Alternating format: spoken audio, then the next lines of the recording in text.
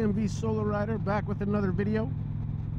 For those who saw the little emergency alert on my channel, you know there's some weird happenings going on in DMV SoloRider land. So today is officially the final voyage of DMV SoloRiders 2019 Indian Chieftain Dark Horse. And as you have probably gathered from my teaser, I am trading my beloved Dark Horse in on a 2020 bright red Indian Challenger. And if you've been watching my videos in the order in which I put them up, you know they're kind of starting to tell a bit of a story. I absolutely love my Chieftain. Uh, every mile I've ridden on it has been, as I've said before, a true joy. But there are some things that have come up over the six months I've been riding the bike that make you think. And when it comes to the Chieftain, as much as I love it, and as you know from my little rant video from not too long ago, there are two things about this motorcycle that irritate me. One, I'm not crazy about the Ride Command navigation on the pre-2020 models. It's not that reliable. Uh, it doesn't have live traffic routing. Most importantly, it doesn't have CarPlay, which is all I would be using for traffic routing, you know, using Waze, which also has the benefit of telling you where red light cameras, speeding cameras, and, you know, speed traps are located. And, you know, as you already know, if you watch that video, that really bothers me that I can't get it on my Chieftain. And the other issue I've had pretty persistently since I bought the bike is, is buffeting, wind buffeting. And the solution to wind buffeting on my Chieftain is really just a taller windshield. Uh, I already have a 12 inch Freedom Shield on it. I think the stock windshield is about 10 inches. And as you know from my other videos, I have an extension piece that can give me up to an additional six inches. I usually have it set at four. So I'm basically, in order to be buffeting free, I'm riding around with 16 inches of windshield. And I don't like that. Uh, I really don't like looking through a windshield if I can avoid it. If I'm going fast on a highway, okay, fine, I can tolerate it. But at low speeds, you know, that, that's nothing that I want to deal with. Uh, I'd much rather be looking over the windshield, worst case scenario. And, you know, when it comes to putting that extension piece on, when I have it at an extra four inches, you know, even when the windshield is down, you're looking right through it. So, and the extension itself is a pain in the butt. It's hard to put on and off. It's nothing you can do on the fly. You gotta like screw it on, screw it up. It, it's not convenient. So I was going to just get a, a 14 inch windshield from Freedom Shield, see how that did, and if I had to, I'd return that and get a 16 inch. And my expectation was that would solve all of my buffeting problems. The compromise being that even at low speeds, I was going to have to look through the windshield, which I hate. Anyway, so those kind of issues were persistent, and I addressed them in my 6,000 mile review of the Chieftain so it's not like they came out of nowhere, for those of you who have been watching my videos for a little while now. And then I started doing these test rides. And, you know, it wasn't, wasn't planned. I, I was not doing reviews of motorcycles. It was an opportunity to do an Indian demo day. It was an opportunity to go and test ride some Harley Davidson motorcycles. And I would encourage all of you, do both uh, if you can. If you have dealers near you and, you know, go to their websites, check out their events uh, Indian dealers are really good about telling you when they're having a demo day. I'm sure Harley, Harley, it's more just make an appointment, come and test ride. I don't, I don't think they need a special event. In that process, as you know, I really like the Road Glide. I really like the fairing. I prefer the Road Glide's fairing at high speeds to my Chieftain with its windshield, adjustable windshield but I didn't like the Road Glide overall. Riding my Chieftain was a superior experience for me.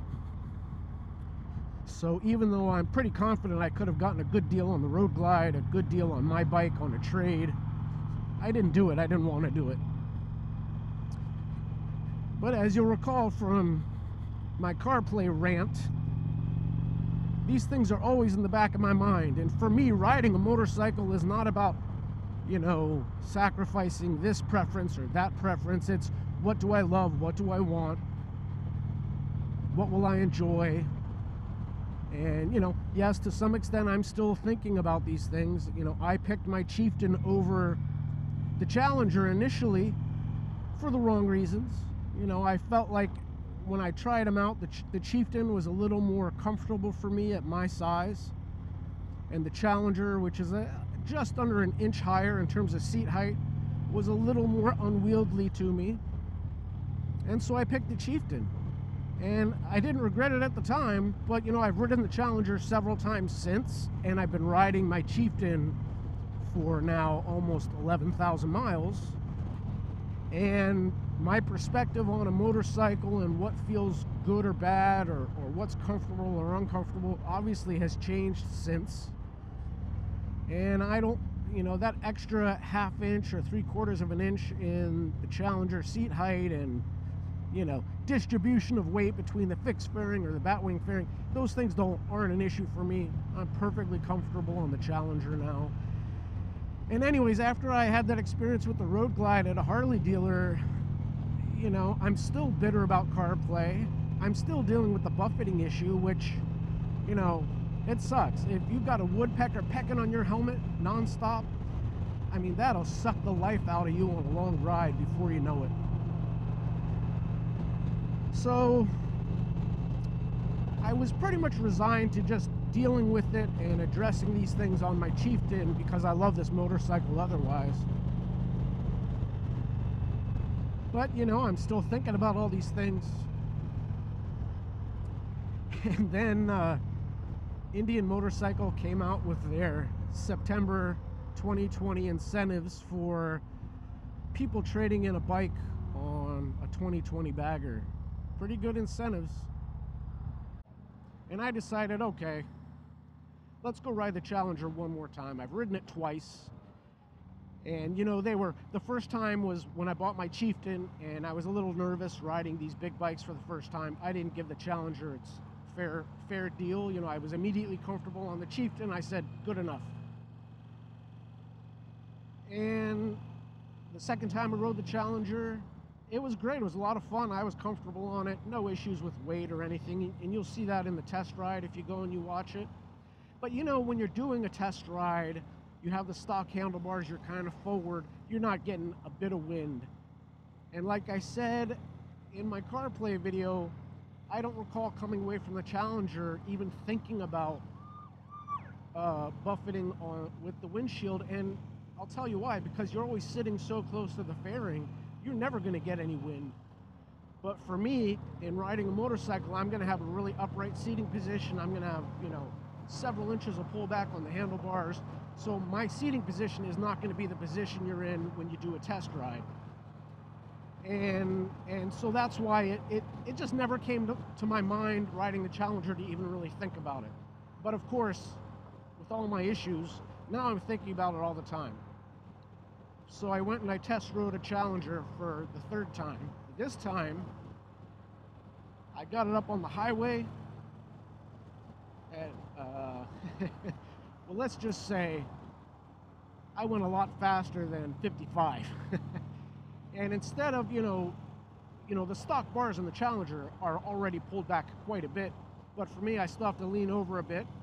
And I just got up there at freaking 80 miles an hour. I sat upright one-handed just to make sure my helmet was up in the wind.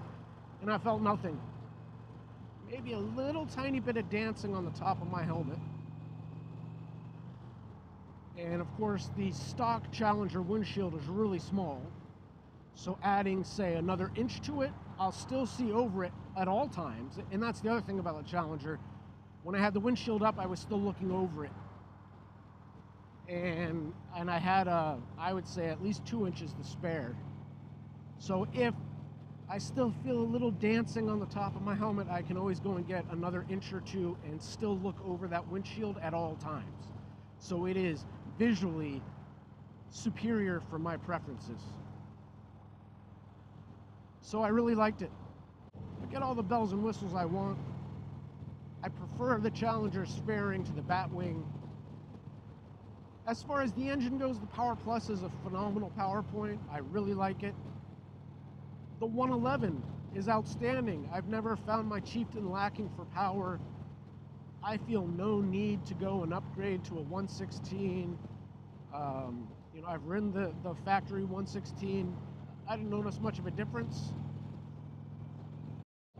So that's what we're doing today. I just wanted to film this and explain why I decided to trade in my Chieftain, even though I absolutely love this motorcycle, and I really do. You know, the only other thing about the Chieftain I really didn't discuss in my review is the color. I mean, this is matte black, and it looks sharp. And all I ever want was a bright red motorcycle. You know, my Scout was a bright red. I love bright red. I don't mind chrome. I chose the blacked out, you know, the, the Chieftain Dark Horse in matte black because it was, to me, it was the best option available. It wasn't because I was dying for a matte black motorcycle. Uh, you know, everyone's got a black motorcycle. When I'm cruising down the road, I'd rather look a little different. So the fact that I can get this Challenger in loud, bright red is a true benefit. And look, if in six months I think I made a horrible mistake, I'm going to tell you that. I'm not going to lie. I'm not going to sugarcoat it. But anyways, that's what I got for you. I've had all these videos stockpiled in my queue because, you know, I I started to tell a story from one video to the next and I couldn't just put them up out of order. So by the time you're seeing this, ah, God knows how many miles I'll put on a Challenger. Um, but my next video will probably be a ride video on the Challenger. I'm not going to do a test ride or a, a, an actual review until I've got probably another 6,000 miles on it. And how fast I get there really just depends on, you know, how much time off I have. So, but you'll see it on my next video. And I'll talk, you know, casually, things I like, things I don't like, comfort, handling. You know, I think what we'll do instead of just waiting to do a 6,000 mile review, what we'll do is we'll do like an ongoing review of my Challenger. Like as I'm doing my ride videos, I'll also talk about the bike and how it feels and what I like, if there are things I don't like. And then we'll get to like 6,000 miles and we'll do, okay, let's break it all down, just like we did for the Chieftain. Well, that's what I got for you today, guys. The next time I film a ride will be on my bright red Indian Challenger. I'm excited. I am confident it is everything that I need based on my experience in 14 months and about almost 17,000 miles on on the road on motorcycles. I think the Challenger really is my perfect solution. If it's not, man, I'm going to be pretty upset because barring the things the Challenger does better than the Chieftain, this Chieftain is phenomenal. I really do love it anyways, that's what I got for you today. I'd certainly appreciate if you give this video a thumbs up. Put my ride and ride-related content out every Friday. So hit that subscribe button, click the notification bell, and you'll be made aware when my next video is out. Uh, certainly appreciate getting comments from you. Don't hesitate to comment in the comment section below. Or you can reach out to me on my various social media accounts. You can even email me directly at my Gmail account. All those are on the screen. But until my next video, please be safe out there, and I'll see you soon.